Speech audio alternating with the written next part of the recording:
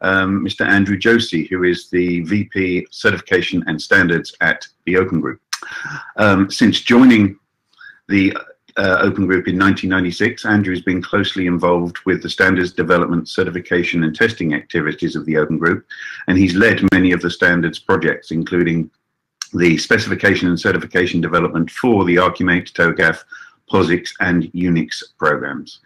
Andrew is a member of IEEE, Usenix, FLOSS UK, and the Association of Enterprise Architects, which is uh, an organization we'll hear about right after Andrew. So uh, a warm uh, virtual welcome from the Open Group to Andrew Josey. Over to you, sir. Hi, Steve. Thanks. Hopefully you can uh, hear me okay. Yes, we can. Okay, so I just got to uh, get things going. Right.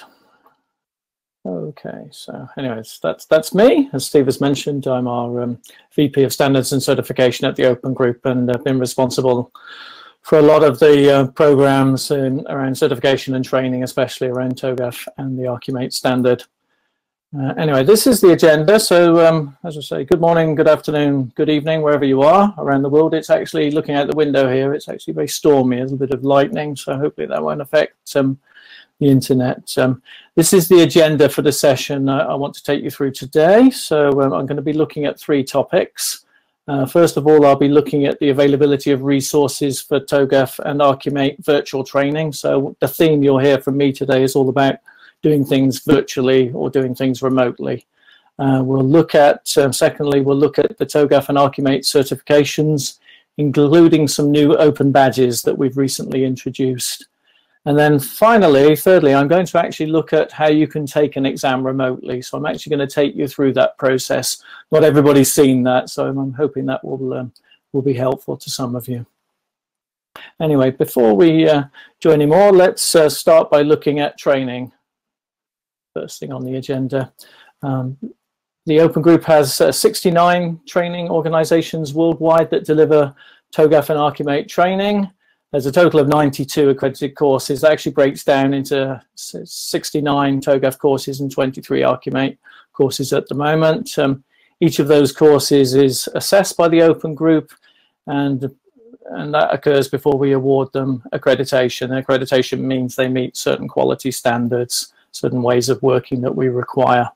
Um, all the courses that are accredited are against the latest versions of the respective standards. So they're against the 9.2 version of the TOGAF standard and the 3.1 version of the Archimate specification. In fact, the Archimate specification recently updated from 301. I think that was last November to 3.1. So that's a recent change there.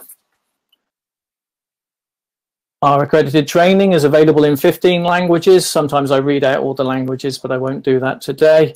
And they can be delivered in, an, in a, a number of different settings, uh, in classrooms, obviously with appropriate social distancing at the moment, virtually, e-learning, or sometimes we have blended. So there may be a course that does a mixture of one or more of the methods, delivery methods. All of the Open Group accredited training course providers are able to deliver their courses both in person or as virtual instructor led. That was a one thing we made very clear early on this year was uh, that, that, this was a possibility. Um, in addition, some of our training course providers offer e-learning courses and we've tried to make that easy by providing a virtual training sort of resources page here at the Open Group. So um, if you click on the QR code, it will take you straight to this or anywhere from the open group website where you see you know from the home page you see the various pull downs uh, all the certification uh, links are on the certifications pull down from the open group homepage. So virtually everything I will show you today you can find by navigating to that point. I tried to include QR codes so that um, if you're following along either live or in the recording and you're so inclined, you can actually point your camera at them and um, most um, most mobile platforms today will actually interpret that for you and go off and find uh, the page. Uh, we maintain calendars on our site to make it possible for you to find suitable courses and we as well as having you know um, typical on-site courses we now have um, recently added a virtual classroom course calendar. So you can find um, you know where virtual courses are being run. Uh, often they will tell you what time zone they're in. I think I'm not sure the examples do there we also provide We also provide links to our e-learning course providers. So for those of you who prefer to study online, you know, at your own pace, you, you can go out and find an accredited e-learning course.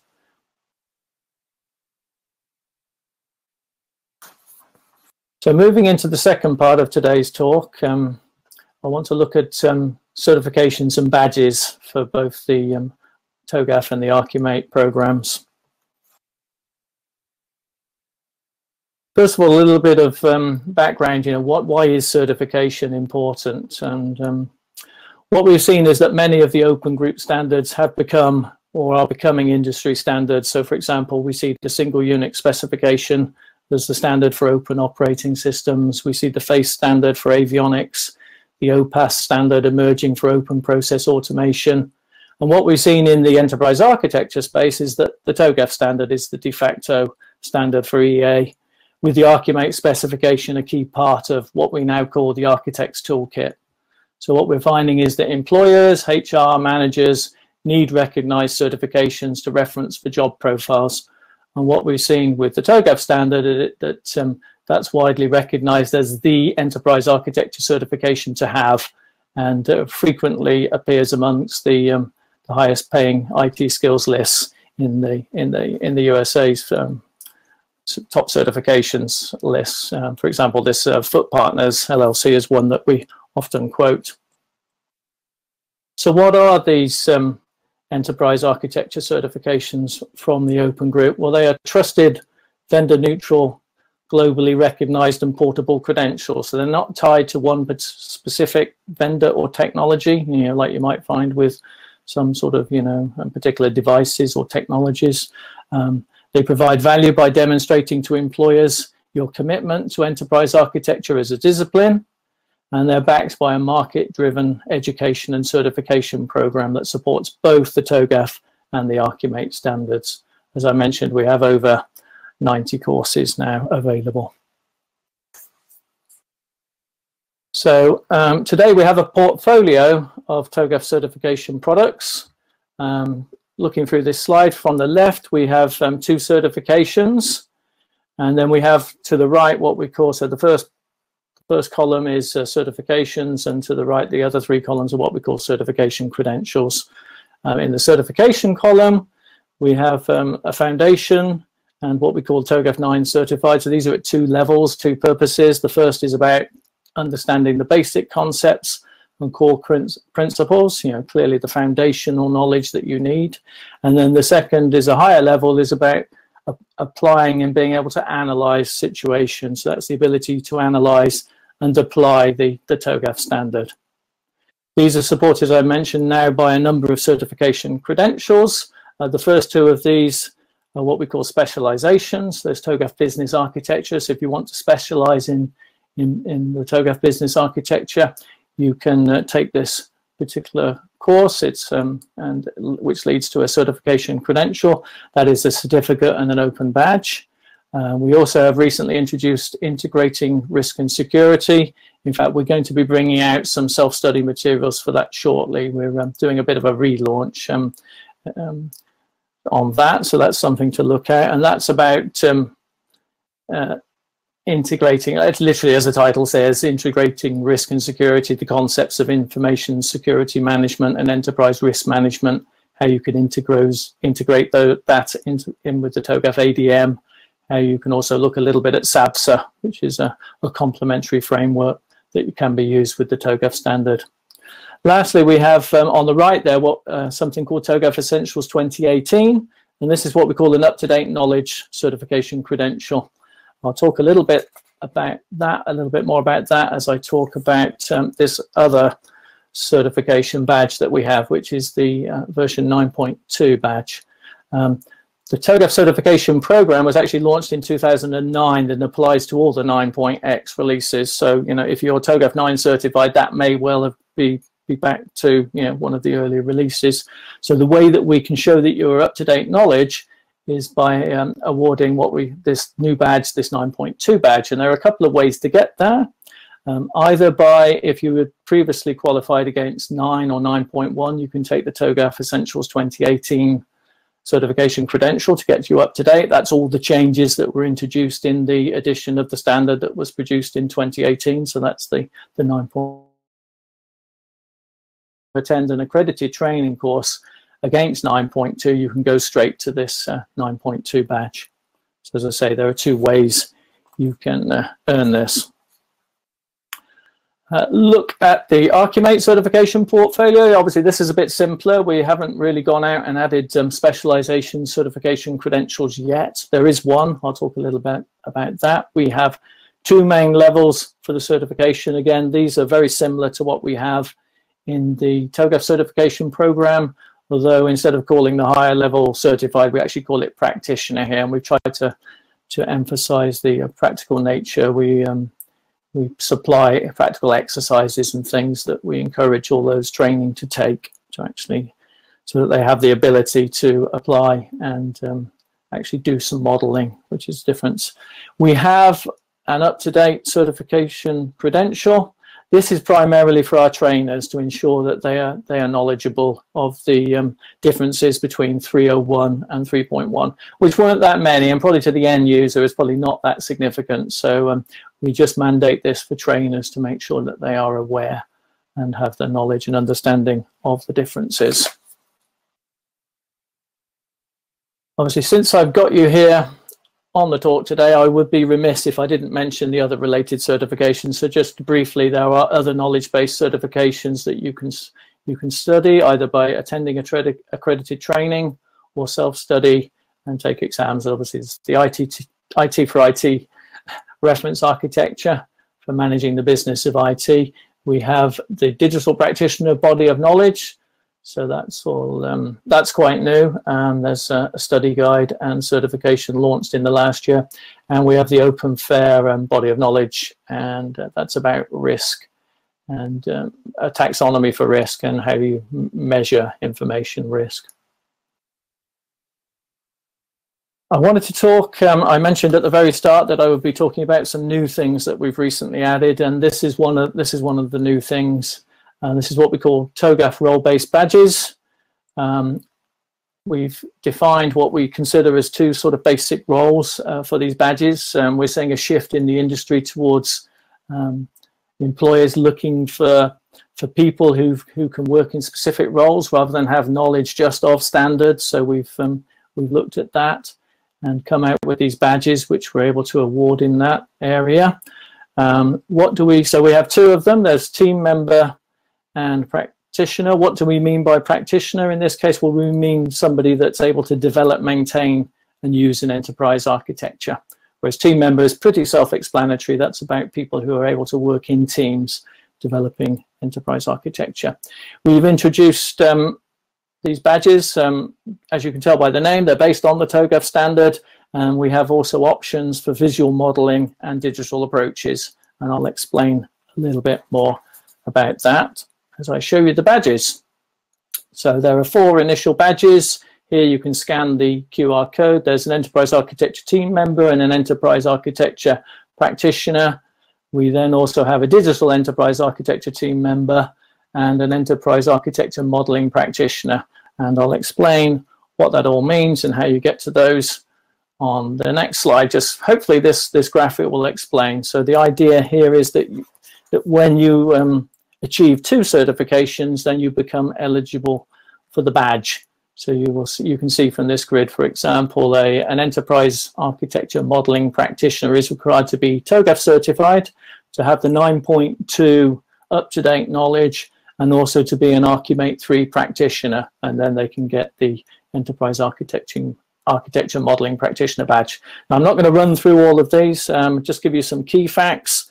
Uh, we issue the badges several times a week. And they're issued shortly after you achieve the second certification that is required for the role. They're free and they're automatically issued. So if you're in our badging program, if you've opted in, you've got some badges already, you know, further badges will be issued automatically by the system. How will you know you, when you've got one? Well, if you have opted in, then what happens is you get a notification from our badging partner. That's a company called Credly. We use their Acclaim platform and they will notify you. You can set up your Credly Acclaim profile if you want to actually automatically accept badges so you don't have to do anything. And just to show you here, this is actually, again, a picture of the badge, but also the certificate that is available with the badge. You can get this certificate in your Credly Acclaim account. So we're sort of leveraging the technology of open badges to be able to um, issue certificates for some of these things that way as well. And lastly, on this topic, if you want to find a, out, out a little bit more, we have a two-minute video short. So um, that summarizes the program. So you can click on the QR code or click on the, the link. This is up YouTube. It's on the Open Groups YouTube channel. You will find we're putting more little two-minute video shorts out um, on the YouTube channel just so you can uh, pick up on the, the latest news and programs in, in two minutes. We're always very aware that people have uh, prefer to keep it keep it short. So now I'd like to really take you through something which is a bit more practical. Um, you may not have seen seen this, but it's actually to take you through um, how you can take an exam remotely. I'm hoping this will be useful because um, what we've seen obviously this year is, is a shift, you know, from uh, the majority of our exams being taken at test centres to, uh, I think it's a, a it's a, 1100% increase um, year to date of people going to um, take their exams remotely versus test centres, obviously due to the pandemic. Um, so I'm going to talk you through exactly what that entails in the next few slides. So, so, um, so this is the thing now. You can take your exams remotely at home or in your office if you so please. Um, obviously, this is a a, a, timely alternative, I guess, um, with the situation that arrived. Um, luckily, the Open Group had um, had prepared its um, exams so that we could do this all along, and it was quite easy just to switch on a few more exams when when the need arose. Um, these are the exams that are now available. It's virtually all of our exams. Um, you'll see there are a couple of exceptions. The Chinese exams are not available, and that's um, primarily because we're unable to deliver the remote exam uh, service in China. So I'm going to take you through um, the solution that we use. This is a solution provided by the Open Groups examination provider, test provider, uh, Pearson VUE, and they use a technology called OnVUE Online Proctoring so I'm going to walk you through the setup and check-in process. Um, this is what you would do when it's time to take your exam. Okay, so um, before this stage, you would have run some system tests to check that your system and your network is suitable and can support the remote testing. And you would have logged into your account previously at the open group. We have single sign-on to Pearson VUE that connects you to a Pearson VUE account, and you would have previously scheduled scheduled your exam. So what I'm going to show you now is the stages that you go through to actually take your exam. Okay, so this is an overview of what you would you would have to go through to take the exam.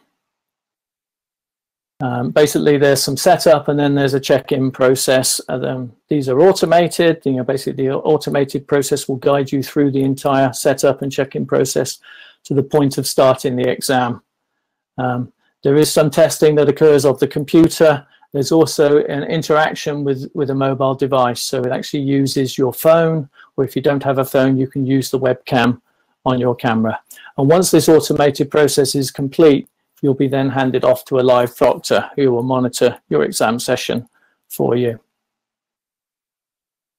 As I mentioned, um, we're presuming at this point that you previously scheduled an exam and it's now and it's now time to come in and take the exam as they say, you should start this process. The advice is to start this process 30 minutes in advance of the actual scheduled time. So um, at this point, we've we've logged into the Open Group main page. We've pulled the certification pull down, and we've gone to the Take Exam point, and that's led us to link to log into our Pearson VUE account, and there we will see the exams that are ready to take, and we will click on the available exams, and we'll be at this screen. Um, so we we would select Begin Exam, At this point, we, you'll be supplied with an access code and a link to download the OnVUE application. Now, this is an application that will have to run on your computer.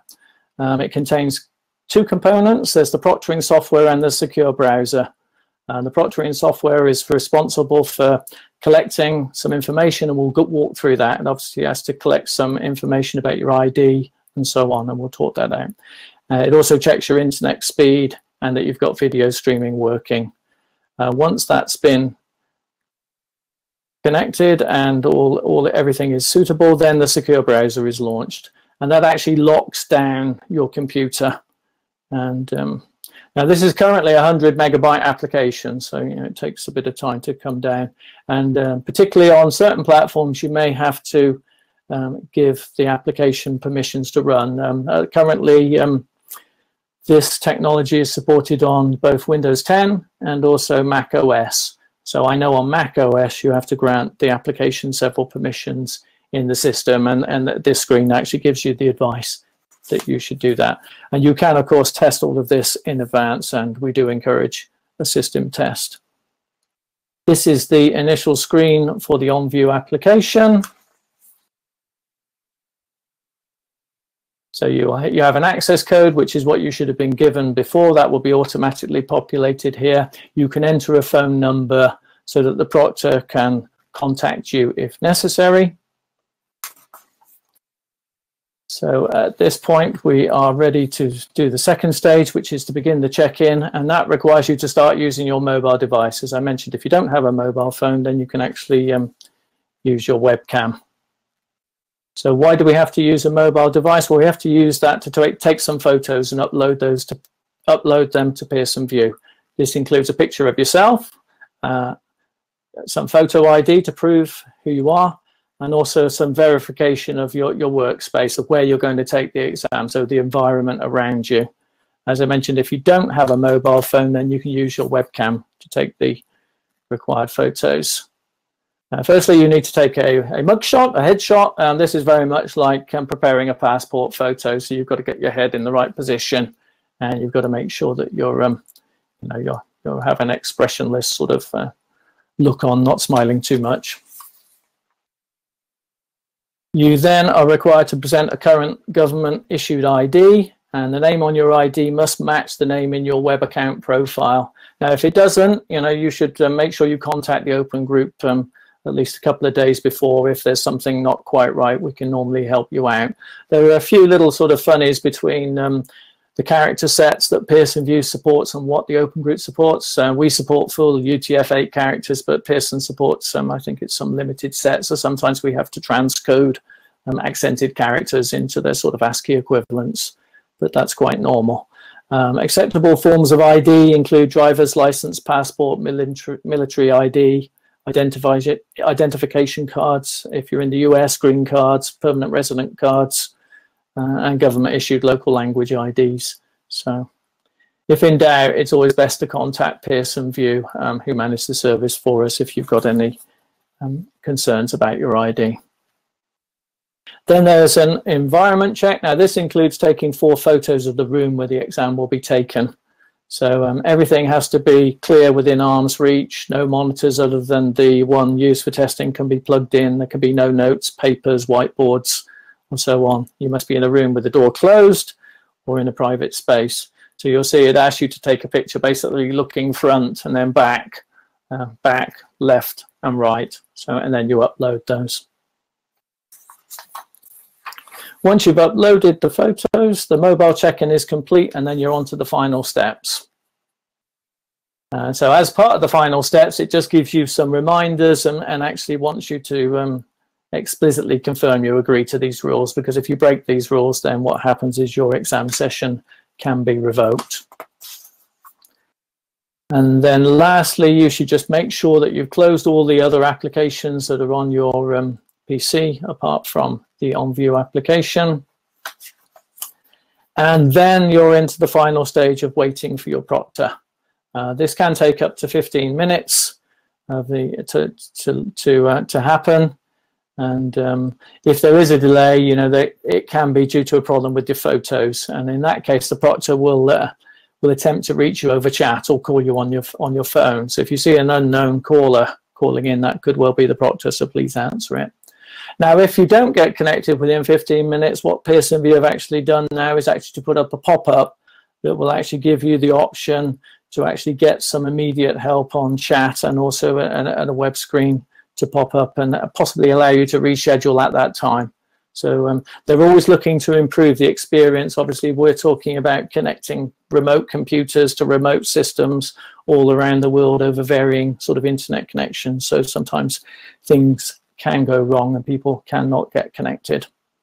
So assuming we were connected, then once the proctor has arrived, we'll be ready to start the examination. So that's um, at this point, I would wish you good luck and off you would go.